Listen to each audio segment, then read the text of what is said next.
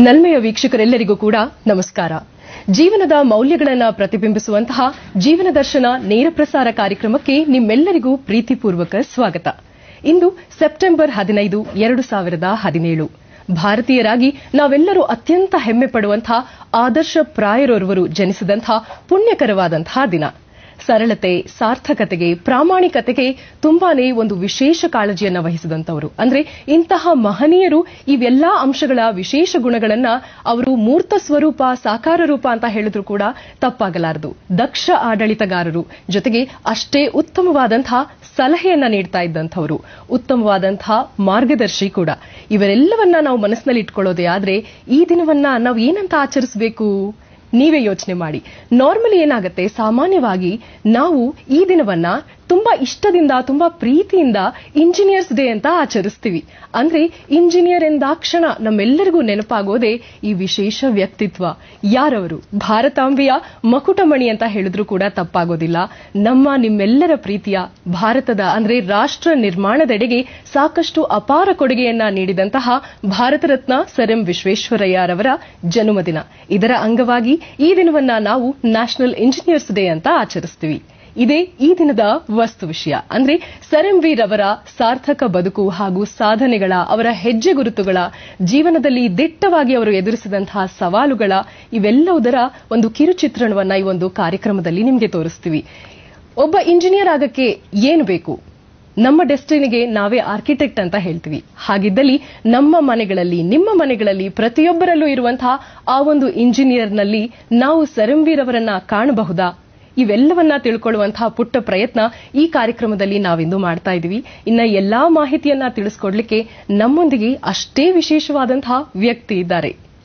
ಸರಂವಿ ಅಂದ್ರೆ ಭಾರತ ರತ್ನ ಸರಂ ವಿಶ್ವೇಶ್ವರಯ್ಯರವರ ವಂಶವಾಹಿನಿಯನ್ನ ಪ್ರತಿನಿಧಿಸುವಂತಹ ವಿಶೇಷ ವ್ಯಕ್ತಿ ಹಾಗೂ ವ್ಯಕ್ತಿತ್ವ ಬಹುಮುಖ ಪ್ರತಿಭೆ ಅಧ್ಯಯನಶೀಲರು ಆಧ್ಯಾತ್ಮ ಚಿಂತಕರು ಸಾಕಷ್ಟು ಸಾಕ್ಷ್ಯಚಿತ್ರ, ಕಿರುಚಿತ್ರಗಳು, ಸಾಕಷ್ಟು ಕೃತಿಗಳನ್ನು ರಚಿಸಿದಂಥವರು.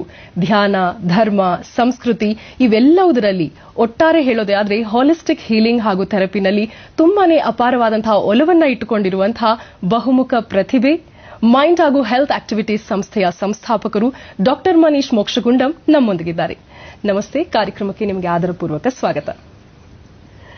ವೀಕ್ಷಕರೇ ಕಾರ್ಯಕ್ರಮದ ಸ್ವರೂಪ ನೇರ ಪ್ರಸಾರವಾದ್ರಿಂದ ನೀವೆಲ್ಲರೂ ಕೂಡ ಕರೆ ಮಾಡಬಹುದು.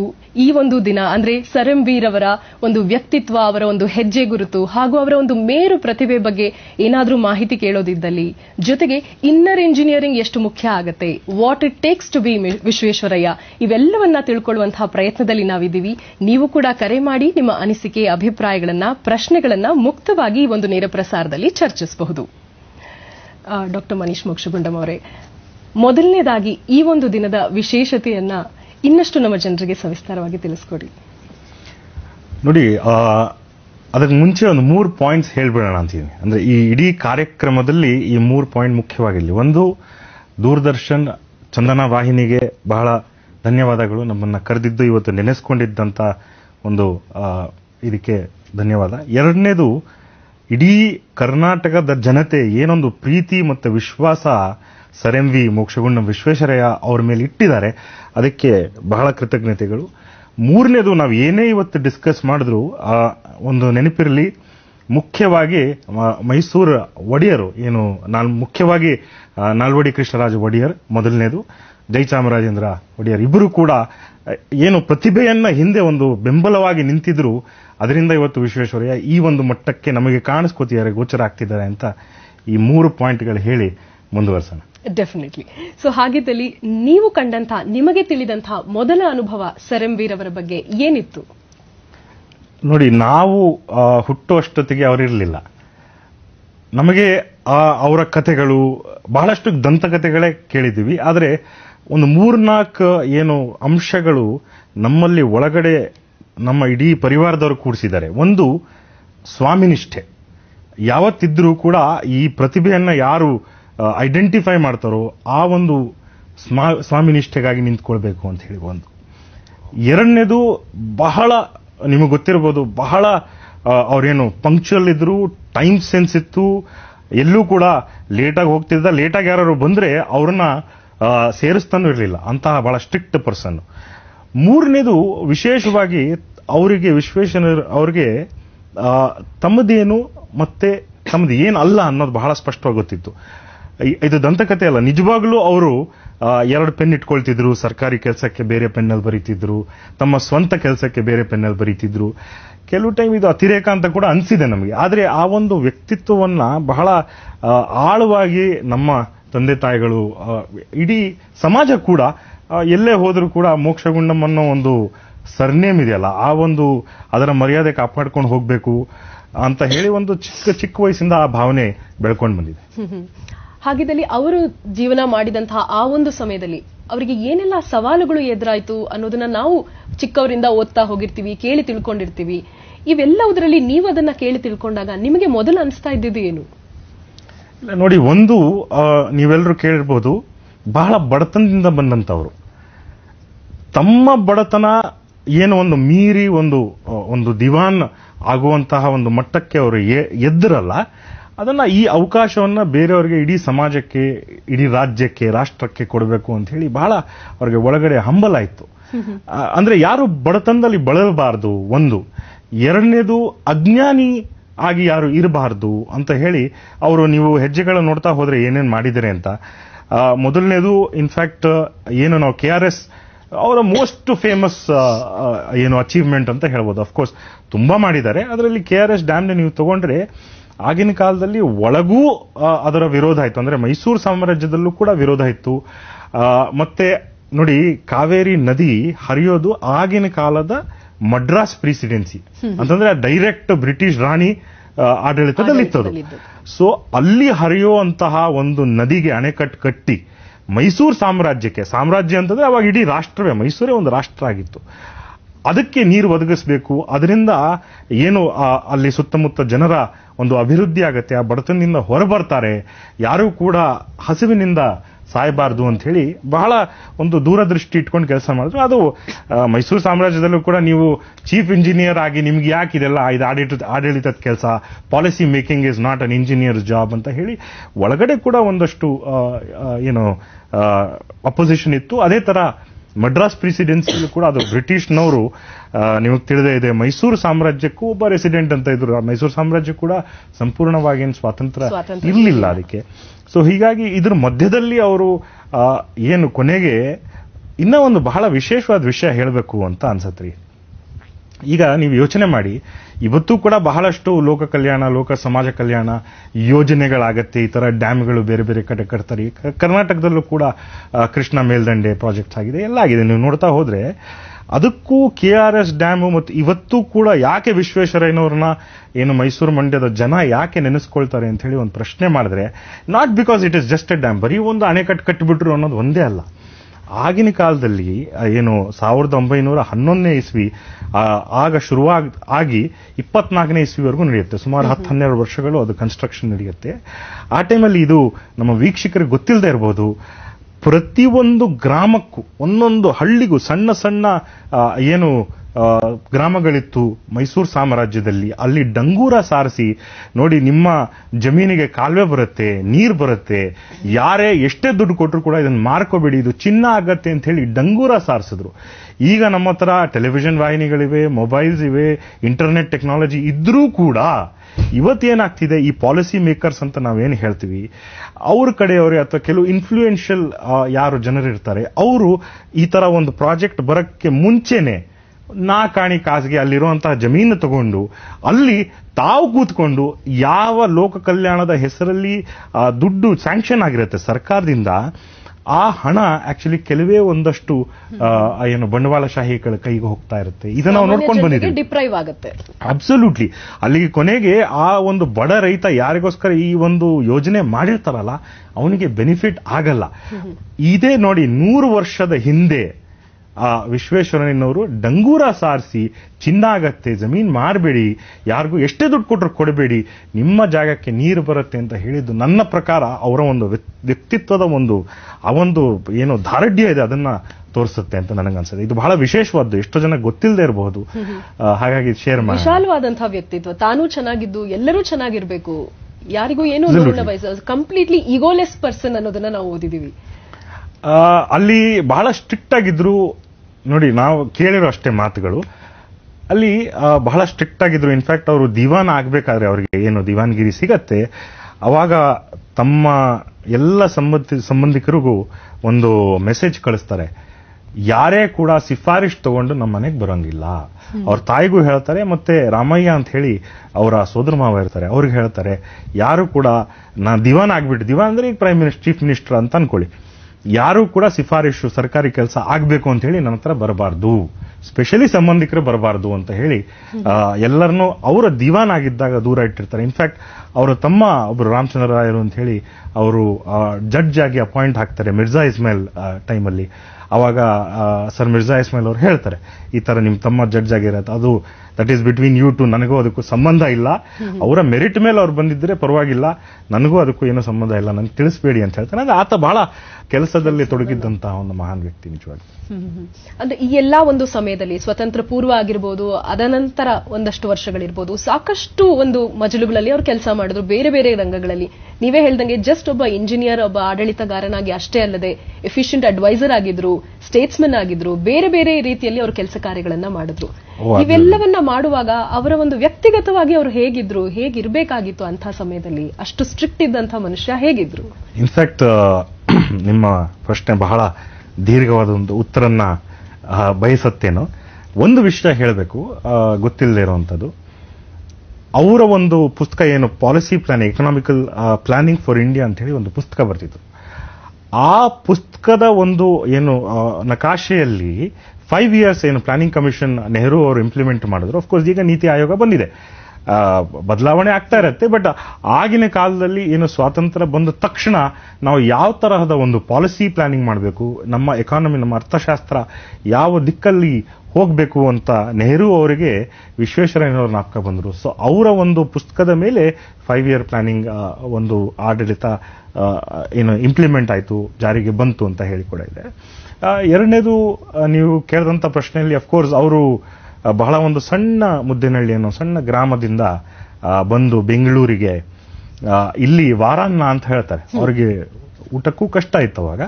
ಇಲ್ಲಿ ಒಬ್ರು ಕೊಡವ ಮನೆಯಲ್ಲಿ ಟ್ಯೂಷನ್ ಹೇಳ್ಕೊಡ್ತಾ ಅವ್ರ ಮನೆಯಲ್ಲೇ ಇದ್ದು ಏನು ಅವರ. ತಗೊಂಡು ಅವರ ರಾಮ ರಾಮಯ್ಯ ಅವ್ರ ಮನೇನೂ ಇಲ್ಲೇ ಇತ್ತು. ಸೊ ಅಲ್ಲಿ ಊಟ ಮಾಡಿ ಒಪ್ಪತ್ತು ಊಟ ಮಾಡಿ ಅವರು ಇಲ್ಲಿ ಸೆಂಟ್ರಲ್ ಕಾಲೇಜಲ್ಲಿ ಬಿ ಎ ಮಾಡಿದ್ರು. ಮತ್ತೆ ರಂಗಾಚಾರ್ಯಲು ರಂಗಾಚಾರ್ಲು ಅಂತ ಹೇಳ್ಬಿಟ್ಟು ಅವರು ದಿವಾನ್ರಿದ್ರು. ಅವರು ಇವರು ಮ್ಯಾಥಮೆಟಿಕ್ಸ್ ಅಲ್ಲಿ ಬಹಳ ಬ್ರಿಲಿಯಂಟ್ ಬ್ರೇನ್ ಅಂತ ಹೇಳ್ತಾರೆ. ಸೊ ಈ ಹುಡುಗನ ಇಲ್ಲೇ ಬಿಡಬಾರ್ದು ಅಂತ ಹೇಳಿ ಇಂಜಿನಿಯರಿಂಗ್ ಮಾಡುವಂತ ಪೂನಾಗ್ ಕಳಿಸಿದ್ರು ಆಗ ಸರ್ಕಾರಿ ಗ್ರ್ಯಾಂಟ್ ಮೇಲೆ ಅವರು ಪೂನಾಗ್ ಹೋಗಿ ಅಲ್ಲಿ ಇಂಜಿನಿಯರಿಂಗ್ ಓದಿ ಕಂಪ್ಲೀಟ್ ಮಾಡಿ ತಕ್ಷಣ ಏನು ಬಾಂಬೆ ಪ್ರೆಸಿಡೆನ್ಸಿ ಅಂತ ಕರಿತೀವಿ ಈಗ ಏನು ಮುಂಬೈ ಆಗಿದೆ. ಬಾಂಬೆ ಪ್ರೆಸಿಡೆನ್ಸಿ ಅದು ಕೂಡ ಬ್ರಿಟಿಷ್ ಸರ್ಕಾರದ ಅಧೀನದಲ್ಲಿತ್ತು ಅಲ್ಲಿ ಇಂಜಿನಿಯರ್ ಆಗಿ ಸೇರ್ಕೊಂಡ್ರು. ಅಲ್ಲಿ ಸಿವಿಲ್ ಇಂಜಿನಿಯರ್ ನಿಮ್ಗೆ ಗೊತ್ತಿದೆ ಆ ಕಟ್ಟಡ ಕಟ್- ಕಟ್- ಇವೆಲ್ಲ. ಮತ್ತೆ ಇರಿಗೇಷನ್ ಡಿಪಾರ್ಟ್ಮೆಂಟ್ ಅಲ್ಲಿ ಬಹಳ ಕೆಲಸ ಮಾಡಿದ್ರು ಅಲ್ಲಿಂದ ಮೇಲೆ ಬರ್ತಾ ಬರ್ತಾ ಬರ್ತಾ ಸುಪ್ರಿಂಟೆಂಡಿಂಗ್ ಇಂಜಿನಿಯರ್ ಆಫ್ ಮುಂಬೈ ಅದು ಇರಿಗೇಷನ್ ಪ್ರಾಜೆಕ್ಟ್ಸ್ಗೆ ಆ ಸಮಯದಲ್ಲಿ ಏನೋ ಆಗಿರಬಹುದು ಒಳಗಡೆ ಅದು ಮಾಹಿತಿ ನನಗಿಲ್ಲ. ಬಟ್ ಆಗ ಅವ್ರು ರಿಸೈನ್ ಮಾಡಿ ಇಲ್ಲ ನಾನು ಬೇರೆ ಬೇರೆಯವ್ರಿಗೆ ಅಡ್ವೈಸ್ ಮಾಡಿದ್ರೆ ಚೆನ್ನಾಗಿರುತ್ತೆ. ಭಾರತಕ್ಕೆ ಏನು ಹೆವಿ ಇಂಡಸ್ಟ್ರೀಸ್ ಈಗ ಲಾರ್ಜ್ ಇಂಡಸ್ಟ್ರೀಸ್ ಅಂತ ಕರೀತಾರೆ. ಆಗಿನ ಕಾಲದಲ್ಲಿ ಹೆವಿ ಇಂಡಸ್ಟ್ರೀಸ್ ಅಂತ ಕರೀತಾರೆ ಈ ಹೆವಿ ಇಂಡಸ್ಟ್ರೀಸ್ ಅಂದ್ರೆ ಸಿವಿಲ್ ಮತ್ತೆ ಮೆಕ್ಯಾನಿಕಲ್ ಎರಡೂ ಏನು ಸಮಾಗಮ ಆಗುವಂತಹ ಒಂದು ಇಂಡಸ್ಟ್ರಿಗೆ ಕಾಲಿಡಬೇಕು ಅಂತ ಹೇಳಿ ಆವಾಗಲೇ ಬಹಳ ಪಯನೀರ್ ಅವರು ಅಲ್ಲಿ ಎಂಟರ್ ಆದರು. ಮತ್ತೆ he had to compete with the best in the world ಅವಾಗ ಏನಾಗ್ತಿತ್ತು? ಬ್ರಿಟಿಷ್ ನಿಮಗೆ ಗೊತ್ತೇ ಇರ್ಬೋದು.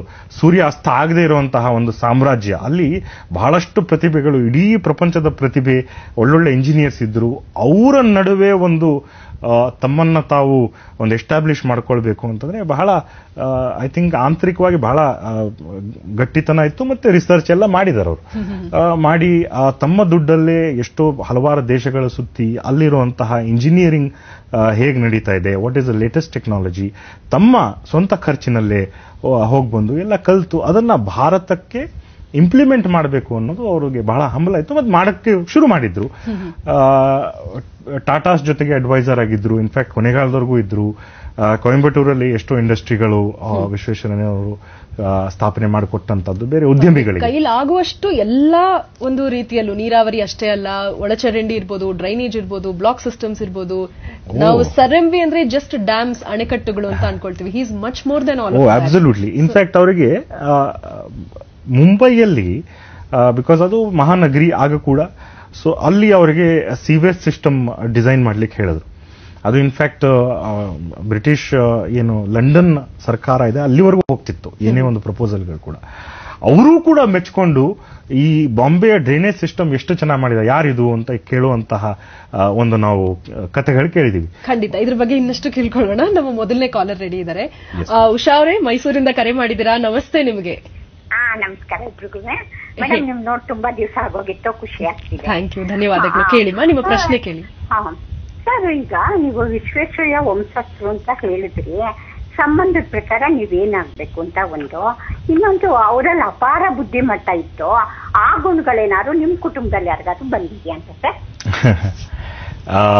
ಮೊದಲನೇದು ನಾನು ಮದುವೆಯವರು ಫೋನ್ ಮಾಡಿದಾಗ ಹೇಳಿದೆ ವಿಶ್ವೇಶ್ವರನ ವಂಶ, ಏನು ವಂಶಸ್ಥ ಅಥವಾ ಆ ಥರ ಹೇಳ್ಕೊಳ್ಳೋದು ಬೇಡ. ಐ ಆಮ್ ನಿಮ್ಮ ಥರಾನೇ ನಾನು ಒಬ್ಬ ಅಭಿಮಾನಿ. ಅದೇ ಒಂದು ಫ್ಯಾಮಿಲಿ ನಾವೆಲ್ಲ ದಾಯಾದಿಗಳು ಸಂಬಂಧಿಕರು ಅಂತ ಒಂದು. ಎರಡನೇದು ಏನ್ ಕೇಳಿದ್ರು ಅವರು? ಅದೇ ಈ ಗುಣಗಳು ನಿಮ್ಮಲ್ಲಿ ಕೂಡ ಅವರು ಆಗಿರುವಂತಹ ಗುಣಗಳು ನಿಮ್ಮ ಫ್ಯಾಮಿಲಿಯಲ್ಲಿ ಕೂಡ ಯಾರಿಗಾದ್ರೂ ಇದೆಯಾ? ಇದು ಒಂದು ಸಣ್ಣ ಒಂದು ವಿನೋದದ ಒಂದು ಮಾತು ಹೇಳ್ತೀನಿ ನಿಮಗೆ. ಏನು ಭಾರತ ಸ್ವಾತಂತ್ರ್ಯ ಪಡ್ಕೊಳ್ಬೇಕಿತ್ತು ವಿನೋದದ ಮಾತು ಸೀರಿಯಸ್ ಆಗಿ ತಗೊಳ್ಬೇಡಿ ಇದು. ಅವಾಗ ಬ್ರಹ್ಮ ಎಷ್ಟೋ ಮಹಾನ್ ವ್ಯಕ್ತಿಗಳನ್ನ ತಯಾರು ಮಾಡದಂತೆ ಬ್ರಹ್ಮಲೋಕದಲ್ಲಿ ಮಾಡಿ ಈಗ ಭಾರತಕ್ಕೆ ಒಂದು ಸ್ವಾತಂತ್ರ್ಯ ಸಿಗುತ್ತೆ. ನೀವೆಲ್ಲ ಹೋಗಿ ಬಾ- ಆ ಒಂದು ಸಣ್ಣ ಒಂದು ರಾಷ್ಟ್ರವನ್ನ ಯಂಗ್ ಕಂಟ್ರಿಯನ್ನು ನೀವು ಬೆಳೆಸಬೇಕು. ಅದಕ್ಕೆ ಬೇಕಾದಂಥ ವ್ಯಕ್ತಿಗಳು ತಯಾರು ಮಾಡಿದ್ರು. ಮಹಾತ್ಮ ಗಾಂಧಿ ಹೋದ್ರಂತೆ ನಿಮಗೆ ಆಧ್ಯಾತ್ಮ, ಧರ್ಮ ಇವೆಲ್ಲ ತಗೊಳ್ಳಿ ಅಂತ ಹೇಳಿ ಆಶೀರ್ವಾದ ಮಾಡಿ ಕಳಿಸಿದ್ರಂತೆ. ಟಾಟಾ ಬಿರ್ಲಾ ಬಂದರು. ಅವರಿಗೆ ನೀವು ಏನು ಅರ್ಥ ಉತ್ಪತ್ತಿ, ಧನ ಉತ್ಪತ್ತಿ ಮಾಡಬೇಕು ಇಂಡಸ್ಟ್ರಿಯಲಿಸ್ಟ್ ಆಗಬೇಕು ಅಂತ ಹೇಳಿ ಕಳಿಸಿದ್ರಂತೆ. ಮೋಕ್ಷಗುಂಡಮ್ ಹೋಗಿ ನಿಂತರಂತೆ ವಿಶ್ವೇಶ್ವರಯ್ಯ. ನಿಮ್ಗೇನ್ ಬೇಕಪ್ಪ ಅಂದಂತೆ ಇಲ್ಲ ನಂಗೆ ಬಹಳ ಬುದ್ಧಿ ಬೇಕು ಅಂತಂದ್ರೆ. ಆಯ್ತು ತಗೊಂಡೆ ಅಲ್ಲಲ್ಲ, ಸಾಮಾನ್ಯ ಬುದ್ಧಿ ಅಲ್ಲ, ತುಂಬ ಬೇಕು ಅಂದ್ರಂತೆ. ಎಷ್ಟು ಬೇಕು ಅಂದ್ರೆ, ತುಂಬ ತುಂಬ ತುಂಬ ಬೇಕು ಅಂದ್ರಂತೆ. ಮೂರು ಸತಿ ತುಂಬ ತುಂಬ ತುಂಬ ಅಂದ್ರಲ್ಲ, ಆಯ್ತಪ್ಪ ತಗೋ, ಮೂರರಷ್ಟು ಬುದ್ಧಿ ನಿನಗಿರಲಿ. ಆದರೆ ನೆನಪಿರಲಿ, ಇನ್ನು ಮೂರು ತಲೆಮಾರಿಗೆ ಯಾರಿಗೂ ಬುದ್ಧಿ ಇರಲ್ಲ ಅಂತಂದ್ರು. ಸೊ ನಮಗಂತೂ ಏನೂ ಇಲ್ಲ ಮೇಡಮ್ ಅದು ನಿಮ್ಮ ಹಂಬಲ್ನೆಸ್ ಅಂದ್ರೂ ತಪ್ಪಾಗಲ್ಲ. ಸೊ ನೀವು ತಿಳಿಸ್ಕೊಡ್ತಾ ಇದ್ರಿ ಯಾವ ವಿಧವಾಗಿ ಅವ್ರಿಗೆ ಮುಂಬೈ ಇದರಲ್ಲಿ ಸಿವೇಜ್ನ ಡಿಸೈನ್ ಮಾಡಬೇಕು ಅನ್ನೋದ್ರ ಬಗ್ಗೆ ತಿಳಿಸ್ಕೊಡ್ತಾ ಇದ್ರಿ. ಆ- ಡಿಸೈನ್ ಹೇಳ್ತಾರೆ ಇವತ್ತು ಕೂಡ ಅದು ಆ ಸಿವೇಜ್ ಸಿಸ್ಟಮ್ ಎಲ್ಲಿ ಓಪನ್ ಆಗ್ತದೆ? ಯಾಕಂದ್ರೆ ಇವತ್ತರೆಗೂ ಬ್ಲಾಕೇಜ್ ಆಗಿಲ್ಲ. ಇನ್ಮೇಲೆ ಈಗ ಫ್ಲಡ್ಸ್ ನಡೀತಾ ಇದೆ ಅದ್ರ ಆದ್ಮೇಲೆ ಈಗ ಇತ್ತೀಚಿನ ಪರಿಸ್ಥಿತಿ ಗೊತ್ತಿಲ್ಲ ಬಟ್ ಬಹಳಷ್ಟು ಒಂದು ಹತ್ತು ವರ್ಷದ ಹಿಂದಿನವರೆಗೂ ಯಾವ ಸೀವೇಜ್ ಡ್ರೈನೇಜ್ ಸಿಸ್ಟಮ್ ಕೂಡ ಬ್ಲಾಕ್ ಆಗಿರಲಿಲ್ಲ. ಫಾರ್ ವಾಟ್ ಹಿ ಪ್ಲಾಂಟ್ ಏನು? ಆಗಿನ ಸಮಯಕ್ಕೆ ಆಗಿರುವಂತಹ ರಿಸೋರ್ಸಸ್ ಅಲ್ಲಿ. ದೀರ್ಘಕಾಲಕ್ಕೆ ಯೋಚನೆ ಮಾಡಿ ಅವ್ರು ಏನೆಲ್ಲ ಯೋಜನೆಗಳನ್ನ ತಂದಿದ್ರು ಈವರೆಗೂ ಕೂಡ ಅದು ಹೌದು. ಅವ್ರ ದಾದರ್ ವರೆಗೂ ಪ್ಲಾನ್ ನೀವು ಮುಂಬೈಗೆ ಹೋದ್ರೆ ನೀವು ದಾದರ್ ಅಂತ ಇದೆ. It is in the centre of Mumbai. ಅಲ್ಲಿವರೆಗೂ ನಿಮಗೆ ಸಿವೇಜ್ ಸಿಸ್ಟಮ್ ಕಾಣಲ್ಲ. ಅದಾದ್ಮೇಲೆ ಓಪನ್ ಸಿವೇಜ್ ಸಿಸ್ಟಮ್ ಆಗಿಬಿಟ್ಟಿದೆ. ಸೊ ನಿಮಗೆ ಏನಾದ್ರು ಗಬ್ಬುನಾಥ ಕಾಣ್ತಿದ್ರೆ ಅದು ವಿಶ್ವೇಶ್ವರಯ್ಯ ಡಿಸೈನ್ ಮಾಡಿಲ್ಲ ಅಂತ ನೀಟಾಗಿ ಗೊತ್ತಾಗುತ್ತೆ. ಅದು ಬ್ಲಾಕೇ ಆಗಿಲ್ಲ ಅಂತ ಹೇಳ್ತಾರೆ. ಈಗಾಗಲೇ ಸುಮಾರು ನೂರು ಇಪ್ಪತ್ತ್ ನೂರು ಮೂವತ್ತು ವರ್ಷಗಳಾಯ್ತು ಆದ್ರೂ. ಏನಾಗಿದೆ ಅಂತ ಯಾರಿಗೂ ಗೊತ್ತಿಲ್ಲ ಅಂತ ಹೇಳಿ. ಅಷ್ಟೇ ಅಲ್ಲ ಬಹಳಷ್ಟು ಕಡೆ ಇನ್ಫ್ಯಾಕ್ಟ್ ಅವರು ಬಹಳ ಏನು ಲೈಮ್ ಲೈಟ್ ಬಂದಂತಹ ಸಂದರ್ಭ ಯಾವುದು ಅಂತಂದ್ರೆ, ಈ ಮೂಸಿ ನದಿ ಅಂತ ಹೇಳಿ ಹೈದರಾಬಾದ್, ಇವತ್ತು ಒಂದು ಕೊಳಚೆ ನಾಲೆ ತರ ಹರಿತಿದೆ ಬಟ್ ಮುಂಚೆ ಬಹಳ ದೊಡ್ಡ ನದಿ, ಹೈದರಾಬಾದ್ ಮೂಸಿ ನದಿ ಅಂತ ಹೇಳಿ. ಅದು ಪ್ರತಿ ವರ್ಷ ಏನು ಅಲ್ಲಿ ಪ್ರವಾಹ ಬರ್ತಿತ್ತು ಫ್ಲಡ್ಸ್ ಆಗ್ತಿದ್ವು, ಬಹಳಷ್ಟು ಜನ ತಮ್ಮ ಏನು ಮನೆಯನ್ನು ಕಳ್ಕೊತಿದ್ರು, ಜೀವನೂ ಕಳ್ಕೊತಿದ್ರು. ಅಂತ ಟೈಮಲ್ಲಿ ವಿಶ್ವೇಶ್ವರಯ್ಯನವರು ಆ ಆ ಒಂದು ಅದಕ್ಕೊಂದು ಅಣೆಕಟ್ಟು ಕಟ್ಟಿ. ಆ, ಫ್ಲಡ್ಡಿಂಗ್ನ ನಿಲ್ಲಿಸಿ ಮತ್ತೆ ವೇಸ್ಟ್ ಆಗಬಾರ್ದು ಅಂತ ಹೇಳಿ ಆ ನೀರಿನ ಹುಸೇನ್ ಸಾಗರರು ಈ ತರ ಬೇರೆ ಬೇರೆ ಲೇಕ್ಗಳು ಏನು ಕೆರೆಗಳನ್ನ ನಿರ್ಮಾಣ ಮಾಡಿ ಅದರ ಸುತ್ತ ಒಂದಷ್ಟು ಗಾರ್ಡನ್ಗಳು ಮಾಡಿ ತಮ್ಮ ಒಂದು ಏನು ಕಾರ್ಯವೈಖರಿಯನ್ನು ತೋರಿಸ್ಕೊಟ್ರು. ಅದನ್ನು ಬಹಳ ಲೈಮ್ ಲೈಟಿಗೆ ಬಂದು ಇಡೀ ಬ್ರಿಟಿಷ್ ಸಾಮ್ರಾಜ್ಯವೇ ಎದ್ದು ನೋಡ್ತು ಏನು ಮಾಡ್ತಿದ್ದಾರೆ ಇವರು ಅಂತ ಹೇಳಿ. ಮತ್ತೆ ಸಕರ್ ಬರಾಜ್ ಪ್ರಾಜೆಕ್ಟ್ ಅಂತ ಹೇಳಿ ಕರಾಚಿಯಿಂದ ಸ್ವಲ್ಪ ದೂರದಲ್ಲಿ ಸಿಂಧು ನದಿ ಮೇಲೆ ಒಂದು ಅಣೆಕಟ್ಟು ಕಟ್ಟಿದ್ರು. ಅದಾದ್ಮೇಲೆ ಟೌನ್ ಪ್ಲಾನಿಂಗ್ಸ್ ಮಾಡಿದ್ರು. ನಾಸಿಕಲ್ town planning in fact Hyderabad town planning ಮಾಡಿದ್ದಾರೆ. ನಮ್ಮ ಸ್ವಂತ ಜಯನಗರ ಅವ್ರದೇ ಟೌನ್ ಪ್ಲಾನಿಂಗ್ ಕೂಡ. ಇವತ್ತಿಗೂ ಇನ್ಫ್ಯಾಕ್ಟ್ ಯಾರೋ ನನಗೆ ಹೇಳ್ತಿದ್ರು ನೋಡಿ ನೂರು ವರ್ಷ ಆದರೂ ಕೂಡ ಅಲ್ಲಿ ಇವತ್ತಿಗೂ ತುಂಬಾ ಒನ್ ವೇಗಳು ಮಾಡಬೇಕಾಗಿಲ್ಲ ಟ್ರಾಫಿಕ್ ಜಾಮ್ಗಳು ಮಾಡಬೇಕಾಗಿಲ್ಲ ಮತ್ತೆ ಆ ಹಸಿರು ಮರಗಳು ಏನು ಹಾಕಿದ್ದಾರೆ ಇವತ್ತು ಕೂಡ ನಮಗೆ ಆಕ್ಸಿಜನ್ ಕೊಡ್ತಾ ಇದೆ. ಅದೊಂದು ಅವರ ಸ್ಟೈಲ್ ಆಫ್ ವರ್ಕಿಂಗ್ ಅದು. ಡೆಫಿನೆಟ್ಲಿ ಇನ್ನಷ್ಟು ಮಾತಾಡೋಣ ಇದ್ರ ಬಗ್ಗೆ. ನಮ್ಮೊಂದಿಗೆ ಕಾಲರ್ ಒಬ್ರು ಲೈನ್ ಅಲ್ಲಿ ಇದ್ದಾರೆ. ವಿಜಯನಗರದಿಂದ ಕೇಸರಿ ಅವರೇ ನಮಸ್ತೆ. ಹಲೋ ನಮಸ್ತೆ. ನಮಸ್ಕಾರ ಮೇಡಮ್ ನಮಸ್ಕಾರ. ನನ್ನ ಎಂ ಎನ್ ಕೇಸರಿ ಅಂತ ವಿಜಯನಗರದಿಂದ ಮಾತಾಡೋದು. ಹೇಳಿ ಸರ್ ನಿಮ್ಮ ಪ್ರಶ್ನೆಯನ್ನ ಕೇಳಿ ಸರ್ ಅಂದ್ರೆ ಸರ್ರಂಬಿಗೆ ನಿಮಗೆ ಆಧ್ಯಾತ್ಮ ದೇವ ದೇವ- ದೇವರ ಮೇಲೆ ಭಕ್ತಿ ಇತ್ತ ಅದ್ರ ವಿಷಯ ಬಗ್ಗೆ ಸ್ವಲ್ಪ ತಿಳಿಸ್ಕೊಡಿ ಅಂತ ಕೇಳ್ತಾರೆ ಡೆಫಿನೆಟ್ಲಿ ಸರ್ ಎಂ ವಿ ಹಾಗೂ ಆಧ್ಯಾತ್ಮ. ಅಂದ್ರೆ ಅವರು ಕಾಯಕವನ್ನೇ ನಂಬಿ ಬದುಕದವರು ಅಂತ ನೀವು ಹೇಳಿದ್ರಿ. ಆಧ್ಯಾತ್ಮಕ್ಕೂ ಅವ್ರಿಗೆ ಒಲವು ಇತ್ತ ಅನ್ನೋದನ್ನ ನೀವು ಕೇಳಿದ್ದೀರಾ ಆ, ಅವರ ಹೆಸರೇನು? ಕೇಸರಿ. ಕೇಸರಿ ಅವರೇ ಫಸ್ಟ್ ನೀವು ಮನಸ್ಸಿಂದ ಆಧ್ಯಾತ್ಮ ಬೇರೆ ಮತ್ತೆ ಈ ಪ್ರಪಂಚ ಬೇರೆ ಅನ್ನೋದನ್ನ ತೆಗಿಬೇಕು. ಆ, ಈ ಪ್ರಪಂಚದ ಸೂಕ್ಷ್ಮ ರೂಪ- ರೂಪವೇ ಆಧ್ಯಾತ್ಮ. ಆಧ್ಯಾತ್ಮದ ಸ್ಥೂಲ ರೂಪವೇ ಈ ಪ್ರಪಂಚ. ಎರಡು ಬೇರೆ ಬೇರೆ ಅಲ್ಲ. ಒಂದೇ ನಾಣ್ಯದ ಎರಡು ಮುಖಗಳು. ಅವರು ಪ್ರತ್ಯೇಕವಾಗಿ ದೇವರು ನಂಬ್ತಾ ಇದ್ರ ಅಂತ ಕೇಳಿದ್ರೆ ಪ್ರಾಯಶಃ ಇಲ್ಲ ಅಂತ ಅನ್ಕೊಳ್ತೀನಿ. ಇದು ನನ್ನ ಮಟ್ಟಕ್ಕೆ ಮಾತ್ರ ಮಾತು. ಇದನ್ನ ಯಾರು ಪ್ರಶ್ನೆ ಇದುವರೆಗೂ ಕೇಳಿರಲಿಲ್ಲ. ಬಟ್ ಬಹಳ ಸ್ಟ್ರಿಕ್ಟ್ ವ್ಯಕ್ತಿ ನನಗೆ ಗೊತ್ತಿದ್ದಂಗೆ ತಮ್ಮ ಒಂದು ಏನು ಕಲ್ಚರಲ್ ಬ್ಯಾಕ್ಗ್ರೌಂಡ್ ಇತ್ತು. ತಮ್ಮ ಒಂದು ಏನು ಸಂಪ್ರದಾಯ ಇತ್ತು. ಅದನ್ನು ಬಹಳಷ್ಟು ಬಿಡ್ಲಿಲ್ಲ. ಅಫ್ಕೋರ್ಸ್ ಅವ್ರು ಯಾವಾಗಲೂ ನೀವು ನೋಡಿದ್ರೆ ವೆಸ್ಟರ್ನ್ ಸೂಟ್ ಅಲ್ಲಿ ಇನ್ಫ್ಯಾಕ್ಟ್ ಊಟ ಮಾಡ್ತಿದ್ದಿದ್ದು ಕೂಡ ಡೈನಿಂಗ್ ಟೇಬಲ್ ಮೇಲೆ ಅಂತ ಹೇಳ್ತಾರೆ. ಅಲ್ಲಿ ಏನು ಪರಿಷೇಕ ಮಾಡಿ ತಿಂತಿದ್ರ ಅದು ನನಗೆ ಗೊತ್ತಿಲ್ಲ. ಬಟ್ ನನ್ನ ಪ್ರಕಾರ ಅವರಿಗೆ ಕೆಲಸದಲ್ಲೇ ದೇವರು ಕಾಣ್ತಿದ್ರು. ಹಾಗಾಗಿ ಅವರ ಅಧ್ಯಾತ್ಮ ಕಾರ್ಯರೂಪದಲ್ಲೇ ಹರಿತಿತ್ತು ಅಂತ ಇದು ನನ್ನ ಪರ್ಸನಲ್ ಒಪಿನಿಯನ್ ಕೇಸರಿ ಅವರೇ ಓಕೆ ಅಂದ್ರೆ ನಾವು ಹೇಳೋ ಹಂಗೆ man is the miniature of the divine cosmos ಎಲ್ಲವೂ ನಮ್ಮಲ್ಲೇ ಇದೆ. Is the part of there is no difference actually ಏನು ವ್ಯತ್ಯಾಸವೇ ಇಲ್ಲ. ಎಲ್ಲ ಕಡೆ ಇದ್ದಾನೆ ಅದೊಂದು ನಿಮಗೆ ಕತೆ ಗೊತ್ತಿರ್ಬೋದು. ಒಂದು ಸಣ್ಣ ಮೀನು ತಾಯಿ ಮೀನನ್ನ ಕೇಳುತ್ತೆ. ಅಮ್ಮ ಈ ಸಮುದ್ರ ಎಲ್ಲ ಕಡೆ ಇದೆ ಅಂತ ಹೇಳ್ತೀಯಾ? ನಾನು ಸಮುದ್ರದಲ್ಲಿದ್ದೀನಿ ಅಂತೀಯಾ? ಸಮುದ್ರ ನನ್ನಲ್ಲಿದೆ ಅಂತೀಯಾ? ಎಲ್ಲಿ ನಂಗೆ ಕಾಣ್ತಿಲ್ಲ ಅಂತ ಕೇಳತ್ತಂತೆ. ಆ ಥರ ಸೊ ನಮಗೂ ಮತ್ತೆ ಏನು ಏನು ದೈವಿಕ ಶಕ್ತಿ ಅಥವಾ ಏನಾದ್ರೂ ಕರೀರಿ. ಅದಕ್ಕೂ ಏನು ವ್ಯತ್ಯಾಸ ಏನಿಲ್ಲ. We are part of it. ಅಂದ್ರೆ ಈಗ ನೀವು ತಿಳಿಸ್ಕೊಡ್ತಾ ಇದ್ರಿ ಕರೆಗೂ ಮುಂಚೆ. ಭಾರತದಾದ್ಯಂತ ಬೇರೆ ಬೇರೆ ಒಂದು ನಗರಗಳಲ್ಲಿ ಬೇರೆ ಬೇರೆ ರಾಜ್ಯಗಳಲ್ಲಿ ಅನೇಕ ರೀತಿ ಬದಲಾವಣೆಗಳನ್ನ ತಂದ್ರು. Specially known for town planning ತುಂಬಾ ಎಫಿಷಿಯಂಟ್ ಆಗಿ ಮಾಡೋರದನ್ನ ಅಂತ. ಸೊ ಇನ್ನಷ್ಟು ಇವರ ಕೆಲಸಗಳ ಬಗ್ಗೆ ಮೈಸೂರಲ್ಲಿ ನಡೆದಂತಹ ಕೆಲಸಗಳ ಬಗ್ಗೆ. ಅಲ್ಲಿ ಏನಾಯ್ತು ಅಂತಂದ್ರೆ ನಿಮಗೆ ಗೊತ್ತಿರಬಹುದು ಸಾವಿರದ ಒಂಬೈನೂರ ಒಂಬತ್ತರಲ್ಲಿ ಮೈಸೂರಲ್ಲಿ ಅವರು ಚೀಫ್ ಇಂಜಿನಿಯರ್ ಆಗಿ ಬರ್ತಾರೆ. ಯಾಕೆಂತಂದ್ರೆ ಅಫ್ಕೋರ್ಸ್ ಇಲ್ಲಿ ಸರ್ಕಾರದ ಒಂದು ಏನು ಬೆಂಬಲದಿಂದನೇ ಅವರು ಓದಿರ್ತಾರೆ. ಎರಡನೇದು ಅಷ್ಟೊತ್ತಿಗೆ ಅವರು ಎಸ್ಟಾಬ್ಲಿಷ್ ಆಗಿರ್ತಾರೆ. ಮೈಸೂರು ಸಾಮ್ರಾಜ್ಯಕ್ಕೆ ಒಂದು ಚೀಫ್ ಇಂಜಿನಿಯರ್ ಬೇಕು ಅಂತ ಹೇಳಿ ಬರ್ತಾರೆ. ಬಂದಾಗ ಫಸ್ಟ್ ಅವರು ಕಾಣೋದು ಇಲ್ಲಿ ಏನು ನೀರಾವರಿ ಸಮಸ್ಯೆ. ಆ ನೀರಾವರಿಯನ್ನು ತರ್ತಾರೆ ಕೆ ಆರ್ ಎಸ್ ಡ್ಯಾಮಿನ ಮೂಲಕ. ಮತ್ತೆ ಆಗಿದ್ದಂತಹ ಏನು ಬೇರೆ ಬೇರೆ ಜಿಲ್ಲೆಗಳಿರುತ್ತೆ ಅದನ್ನು ರೋಡ್ ಕನೆಕ್ಟಿವಿಟಿ ಶುರು ಮಾಡ್ತಾರೆ. ಮತ್ತೆ ಹಳ್ಳಿಗಳಲ್ಲಿ ಯಾವ ಥರ ಪ್ಲಾನಿಂಗ್ ಇರಬೇಕು ಅಂತ ಹೇಳಿ ಅದನ್ನು ಕೂಡ ಏನು ಒಂದು ಅಲ್ಲಿ ಹಳ್ಳಿಯಲ್ಲಿ ಒಂದು ಪಂಚಾಯಿತಿ ಇರಬೇಕು ಅದಕ್ಕೆ ಆಕ್ಸೆಸಿಬಿಲಿಟಿ ಇರಬೇಕು ಹೆಲ್ತ್ ಕೇರ್ ಇರಬೇಕು ಅಂತ ಹೇಳಿ ಇವೆಲ್ಲ ಸಿವಿಲ್ ಭಾಗಕ್ಕೆ ಬರುತ್ತೆ. ಅದೆಲ್ಲ ಮಾಡ್ತಾರೆ. ಬಹಳ ಬೇಗ ಸಾವಿರದ ಒಂಬೈನೂರ ಒಂಬತ್ತರಿಂದ ಹನ್ನೆರಡರಲ್ಲಿ ಅವ್ರು ದಿವಾನ್ ಆಗಿ ನೂರೇ ವರ್ಷಕ್ಕೆ ದಿವಾನ್ ಆಗ್ತಾರೆ. ಆ ದಿವಾನ ಪದವಿ ಬಂದ ಮೇಲೆ ದಿ ಅಡ್ಮಿನಿಸ್ಟ್ರೇಟರ್ ಇನ್ ಹಿಮ್ ಅಂದ್ರೆ ಏನೋ ಒಂದು ಆಡಳಿತಕಾರ ಅಂತ ನಾವು ಕರಿತೀವಿ. ಅದು ಕಾಣಲಿಕ್ಕೆ ಶುರುವಾಗುತ್ತೆ. ಅದಾದ ಮೇಲೆ ಅವರು ಏನು ಮೈಸೂರು ಯೂನಿವರ್ಸಿಟಿ ಸ್ಟಾರ್ಟ್ ಮಾಡ್ತಾರೆ. ಹೆಣ್ಮಕ್ಳಿಗೋಸ್ಕರ ಹಾಸ್ಟೆಲ್ ಸ್ಟಾರ್ಟ್ ಮಾಡ್ತಾರೆ. ಬಹಳಷ್ಟು ಕೆಲಸಗಳು ಮಾಡ್ತಾರೆ. ಒಂದು ಆಡಿಟ್ ಎಫಿಷಿಯನ್ಸಿ ಆಡಿಟ್ ಸಿಸ್ಟಮ್ ಅಂತ ಮಾಡ್ತಾರೆ. ಅಂದ್ರೆ ಏನು ಸರ್ಕಾರಿ ನೌಕರರಿರ್ತಾರೆ ಕರ್ಮಚಾರಿಗಳಿರ್ತಾರೆ ಅವರಿಗೆ ನೀವು ಎಫಿಷಿಯೆಂಟ್ ಆಗಿ ಕೆಲಸ ಮಾಡ್ತಿದ್ದೀರಾ ಇಲ್ವಾ ಅನ್ನೋದು ಇವತ್ತಿಗೂ ಕೂಡ ಅದೇ ಪರಿಸ್ಥಿತಿ ಇದೆ. ಏನ್ ಸರ್ಕಾರ ಬದಲಾವಣೆ ಆದ್ರೂ ಅದೇನು ಚೇಂಜ್ ಆಗಿಲ್ಲ ಬಟ್ ಅವರೊಂದು ಒಂದು ಆಡಿಟ್ ಸಿಸ್ಟಮ್ ತರ್ತಾರೆ. ಇದೇ ತರ ಮತ್ತೆ ಬಹಳಷ್ಟು ಇದೆ. Mysuru chamber of commerce start ಮಾಡ್ತಾರೆ. ಸ್ಟೇಟ್ ಬ್ಯಾಂಕ್ ಆಫ್ ನಾ ಎಲ್ಲ ಹೇಳಿದ್ನಲ್ಲ ಎಲ್ಲವೂ ನಲ್ವರಿ ಕೃಷ್ಣರಾಜ ಒಡೆಯರ್ ಬೆಂಬಲದಿಂದ. ಸೊ ಆಮೇಲೆ ಐರನ್ ಅಂಡ್ ಸ್ಟೀಲ್ ವರ್ಕ್ಸ್ ಅನ್ನ ಇಂಪ್ರೂವ್ ಮಾಡ್ತಾರೆ. The list is endless agriculture ಅಂದ್ರೆ ಇವೇನಪ್ಪ ಬರೀ ಯಂತ್ರ ಮತ್ತು ಇಂಜಿನಿಯರಿಂಗ್ ಅಲ್ಲೇ ಸೀಮಿತವಾಗಿಬಿಟ್ಟಿದ್ರು. ಅಂದ್ರೆ ಅಗ್ರಿಕಲ್ಚರ್ ಯೂನಿವರ್ಸಿಟಿ ಹೆಬ್ಬಾಳಲ್ಲಿ ಇರುವಂತಹದ್ದು ಅದನ್ನು ಕೂಡ ಅವರೇ ಶುರು ಮಾಡ್ತಾರೆ. ಕಾಸ್ಮೋಪಾಲಿಟನ್ ಕ್ಲಬ್ ಶುರು ಮಾಡ್ತಾರೆ. ಸೊ ಎಲ್ಲ ತರದ ಅಂದ್ರೆ ಒಂದು ಬಹುಮುಖಿ ಏನೇನ್ ಡೆವಲಪ್ಮೆಂಟ್ ಆಗಬೇಕು ಎಲ್ಲವನ್ನು ಅವರು ಕೈಗೊಳ್ಳುತ್ತಾರೆ ಅಷ್ಟೇ ಅಲ್ಲದೆ ಒಂದು ಸ್ಪೆಷಲ್ ಆಗಿ ಅವ್ರು ಮಾಡುವಂಥದ್ದು ನಮ್ಮಲ್ಲಿ ವಿದ್ಯಾಭ್ಯಾಸಕ್ಕೆ ಆಗಿನ ಕಾಲಕ್ಕೆ ಏನು ತಂತ್ರಜ್ಞಾನ ಇಂಜಿನಿಯರಿಂಗ್ ಇರಲಿಲ್ಲ. ಅಫ್ಕೋರ್ಸ್ ನಾನು I am jumping many years. ಇದರಲ್ಲಿ ಏನಾಗುತ್ತೆ ಅಂತಂದ್ರೆ ಅವರು ನಮ್ಮ ಹುಡುಗರಿಗೆ ಒಂದಷ್ಟು ಇಂಜಿನಿಯರಿಂಗ್ ಗೊತ್ತಾಗಿ ಬರಲಿ ಕಲ್ತ್ಕೊಳ್ಳಿ ಅಂತ ಹೇಳ್ಬಿಟ್ಟು ಎ ಜೆ ಪಿ ಪಾಲಿಟೆಕ್ನಿಕ್ ಏನಿದೆ ಅವರು ಸ್ವಂತ ದುಡ್ಡಲ್ಲಿ ಅಂದ್ರೆ ಅವರಿಗೆ ಒಂದು ಬೋನಸ್ ತರ ಬಂದಿರುತ್ತೆ.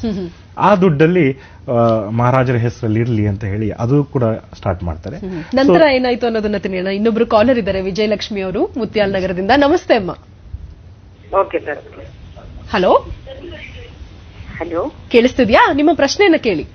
ನಮಸ್ಕಾರ ಸರ್ ನಮಸ್ಕಾರ. ಹಾ ನಮಸ್ಕಾರ. ಆ, ಏಕೆಂದ್ರೆ ನನ್ಗೆ ತುಂಬಾ ಜೀವನದಲ್ಲಿ ಒಬ್ಬ ಆದರ್ಶ ವ್ಯಕ್ತಿ ಅಂತ ಅನ್ಕೊಳ್ಳೋಂಥವ್ರು ವಿಶ್ವೇಶ್ವರಯ್ಯನವರೊಬ್ರು ಯಾಕೆಂದ್ರೆ ನಾನೊಬ್ಳು ನಿವೃತ್ತ ಶಿಕ್ಷಕಿ ಆಗಿದ್ದಂಥವಳು. ಹ್ಮ್ ನಾನು ಒಂದು ನಿಮ್ಮಲ್ಲಿ ಕೇಳ್ಬೇಕಂತ ಪ್ರಶ್ನೆ ಏನಂದ್ರೆ ನಾವು ಮೊನ್ನೆ ನಿಮ್ಮ ಮುದ್ದೇನ ಹಳ್ಳಿಗೆ ಹೋಗಿದ್ವಿ. ಅಂದ್ರೆ ಒಂದು ಇನ್ನೂ ನಿಮ್ಗೊಂದು ಥ್ಯಾಂಕ್ಸ್ ಹೇಳ್ತೀನಿ. ಅವ್ರ ವಂಶಜರನ್ನ ನನಗೆ ಟಿವಿ ವಾಹಿನಿಯಲ್ಲಿ ನಮ್ಗೆ ನಮ್ಮೆಲ್ಲರಿಗೂ ಕೂಡ ಪರಿಚಯ ಮಾಡ್ಕೊಡ್ತಾ ಇರೋದಕ್ಕೆ ಒಂದು hats off to that Chandana ವಾಹಿನಿಗೆ. ಆಮೇಲೆ ನಾವು ಮುದ್ದೇನಹಳ್ಳಿ ನನಗೆ ತುಂಬಾ ವರ್ಷಗಳ ಕನಸಿತ್ತು. ಮುದ್ದೇನಹಳ್ಳಿಗೆ ಹೋಗ್ಬೇಕು ನಾನು ಅಲ್ಲಿ ನೋಡ್ಬೇಕು ಅನ್ನೋಂಥದ್ದು ಅದ್ರಲ್ಲಿ ಹೋದಾಗ ಸ್ವಲ್ಪ ನಿಜವಾಗಿ ವೈಯಕ್ತಿಕವಾಗಿ ಹೇಳಿದಾಗ ನಂಗೆ ಸ್ವಲ್ಪ ನಿರಾಸೆ ಅನ್ನಿಸ್ತು. ಯಾಕೆಂದ್ರೆ ಅಲ್ಲಿ ಮ್ಯೂಸಿಯಂ ಹೋದಾಗ ಇಷ್ಟೋ ಆಸೆ ಕನಸುಗಳನ್ನ ಹೊತ್ತು ಹೋಗಿದ್ವಿ. ಇಲ್ಲೂ ಕೆಲವೊಂದು ವಸ್ತುಗಳನ್ನ ಮಾತ್ರ ಇಟ್ಟಿದ್ರು ಅಲ್ಲಿ. ಹಾಗಾಗಿ ನನ್ಗನ್ನಿಸ್ತು. ಇನ್ನೂ ಹೆಚ್ಚು, ಏಕೆಂದ್ರೆ ಅವರು ನಮ್ಮ ದೇಶದ ಗಣಿ, ಪ್ರಪಂಚದ ಗಣಿ ಅಂತ ಹೇಳಿದ್ರೆ ನಮ್ಗೆ ಅದು ಅತಿಶಯ ಅಂತ ಅನ್ಸಲ್ಲ. ಇಂತಹ ವ್ಯಕ್ತಿನ ನೋಡಿದಾಗ ಸ್ವಲ್ಪ ನಿರ ಅವ್ರ ಮನೇನು ನೋಡ್ಬೇಕು ಅಂತ ಹೋದ್ವಿ. ಆದ್ರೆ ಮನೆಯನ್ನ ನೋಡೋದಕ್ಕೆ ಅವಕಾಶ ಇಲ್ಲ ಅಂತ ಹೇಳಿದ್ರೆ. ಯಾಕೆ ನಂಗೆ ಇದು ಒಂಥರ ಇವ್ರದ್ದು ಕುವೆಂಪುದು, ಇವ್ರಿಗೆಲ್ಲ ನೋಡುವಾಗ ನನ್ಗೆ ಒಂಥರ ಮನಸ್ಸಿಗೆ ಆಹ್ಲಾದವನ್ನ ಕೊಡುವಂತಹ ವ್ಯಕ್ತಿಗಳು ಇವ್ರನ್ನೆಲ್ಲ ಹಾಗಾಗಿ ನಂಗೆ ಇದನ್ನು ಸ್ವಲ್ಪ ಇನ್ನೊಂದ್ ಸ್ವಲ್ಪ ಬಸ್ ಮ್ಯೂಸಿಯಂ ಅನ್ನ ಇನ್ನೂ ನಾವು ಹೆಚ್ಚು ರೀತಿಯಲ್ಲಿ ಅದನ್ನ ಅಭಿವೃದ್ಧಿ ಮಾಡಬಹುದೇನೋ ಅನ್ನುವಂಥದ್ದು ನನ್ನ ಮನಸ್ಸಿನಲ್ಲಿ ಅನ್ನಿಸ್ತಾ ಅದ್ರೊಳಗಡೆ. ದಯವಿಟ್ಟು ತಪ್ಪಿದ್ರೆ ಕ್ಷಮಿಸ್ಬಿಡಿ. ಅವ್ರ ವಂಶಜರನ್ನೇ ಪರಿಚಯ ಮಾಡ್ಕೊಡ್ತಿದ್ದೀರಿ. ಓಕೆ ಓಕೆ ಕೇಳಿ ನೋಡೋಣ. ಇದಾಗುತ್ತಾ? ಆಗೋ ಸಾಧ್ಯತೆಗಳು ಇದೆಯಾ? ಯಾಕಂದ್ರೆ ಅವರ ಕೆಲಸ ನಮ್ಮೆಲ್ಲರಲ್ಲೂ ಇದೆ. ನಮ್ಮ ಕೈಲಾಗುವಂತ ಎಲ್ಲಾ ಕೆಲಸಗಳಲ್ಲೂ ಅವರನ್ನ ನಾವು ಕಾಣಬಹುದು ಆದ್ರೆ ಅವ್ರಿಗೆ ಅಂತ ಪ್ರತ್ಯೇಕವಾಗಿ ಕ್ಯಾನ್ ವಿ ಕನ್ಫೈನ್ ಹಿಮ್ ಇಲ್ಲ ನೋಡಿ ಒಂದು ಇಂಥ ವ್ಯಕ್ತಿಗಳು ದೇ ಆರ್ ಪಬ್ಲಿಕ್ ಪ್ರಾಪರ್ಟಿ ಅವರೇನು ಯಾವ ವಂಶಕ್ಕೂ ಅವರೇನು ಸೀಮಿತವಾಗಿಲ್ಲ. ನಿಮ್ಮ ಪ್ರಾಪರ್ಟಿನೇ ಅಮ್ಮ ಅದು. ಒಂದು ಆ, ನೀವು ಮುದ್ದೇನಹಳ್ಳಿಗೆ ಹೋಗಿದ್ರೆ ಅಲ್ಲಿ ಏನು ನೀವು ಮ್ಯೂಸಿಯಂ ನೋಡ್ತೀರಾ? ಅದ್ರ ಪಕ್ಕದ್ದೇ ಮನೆ ಅದ್ರಲ್ಲಿ ನೋಡೋದೇನಿಲ್ಲ. ಬಾಗಿಲು ತೆಗೆದ್ರೆ ಆ ಕಡೆ ಕೋಣೆ ಎಂಡ್ ಆಗಿಬಿಡುತ್ತೆ. ಅದೇನೋ ಒಂದು ಹತ್ತಡಿ ಇದೆ ಅಷ್ಟೇ ಅದು. ಅದೇ ಮನೆ. ನೀವು ಮನೆ ನೋಡಿದ್ದೀರಾ ಒಳಗಡೆ ಏನು ಇಲ್ಲ ನೋಡಕ್ಕೆ. ಅಷ್ಟೇ ಇರೋದು ಅದು. ಅದು ರೆಡ್ ಆಕ್ಸೈಡ್ ಕೂಡ ಇರಲಿಲ್ಲ.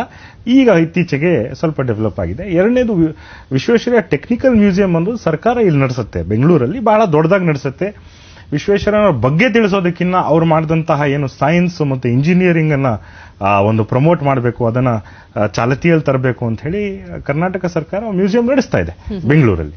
ಮುದ್ದೇನಹಳ್ಳಿ ನೀವೇನ್ ನೋಡಿದ್ರಿ ಆ ಸಣ್ಣದಂತ ಬಿಲ್ಡಿಂಗು ಅದು ವಿಶ್ವೇಶ್ವರಯ್ಯನವರೇ ಕಟ್ಸ್ಕೊಂಡಿದ್ದು ತಮಗೋಸ್ಕರ. ಸೊ ಆ ಅದೇ ಅವ್ರ ಮನೆ ಅದನ್ನೇ ಮ್ಯೂಸಿಯಂ ಮಾಡಿರೋದು. ಅಲ್ಲಿ ಏನು ಕೈಲಾಗತ್ತೋ ಏನು National Visvesvaraya National Memorial Trust ಅಂತ ಹೇಳಿ ಸಂಬಂಧಿಕರೆಲ್ಲ ಸೇರಿ ನಡೆಸುವಂತಹ ಒಂದು ಸಣ್ಣ ಟ್ರಸ್ಟ್ ಕೈಲಾದಂತಹ ಏನು ಇದು ಸರ್ಕಾರದ ಯಾವುದೇ ಅದರಲ್ಲಿ ಕೊಡುಗೆ ಏನು ಅಂದರೆ ಫೈನಾನ್ಷಿಯಲಿ ಏನೂ ಇಲ್ಲ. ಅದನ್ನ ಎಲ್ಲ ಸೇರಿ ಕುಟುಂಬಸ್ಥರು ಎಲ್ಲ ನಡೆಸ್ತಿದ್ದಾರೆ. ಬಟ್ ನಿಮ್ಮ ವಿಷಯವನ್ನ ಹೇಳ್ತೀನಿ. ನಿನ್ನ ಏನಾದ್ರು ತೋರಿಸ್ಲಿಕ್ಕೆ ಆಗತ್ತಾ ಅನ್ನೋದನ್ನ ನಾನು ಪ್ರಸ್ತಾಪ ಮಾಡ್ತೀನಮ್ಮ ಖಂಡಿತ. ಈ ಮಾಹಿತಿಗಾಗಿ ಧನ್ಯವಾದಗಳು. ಒಂದು ವಿರಾಮ ತಗೊಳ್ಳೋ ಸಮಯ ಆಗಿದೆ. ವೀಕ್ಷಕರೇ, ಜೀವನ ದರ್ಶನ, ವಿಶೇಷ ನೇರ ಪ್ರಸಾರ ಕಾರ್ಯಕ್ರಮದಲ್ಲಿ ಈಗೊಂದು ಸಣ್ಣ ವಿರಾಮದ ಸಮಯ. ವಿರಾಮದ ನಂತರ ಮತ್ತಷ್ಟು ಮಾಹಿತಿ, ನಿಮ್ಮ ಪ್ರಶ್ನೆಗಳಿಗೆ ಉತ್ತರ ಎಲ್ಲವೂ ಕೂಡ ಇರುತ್ತೆ.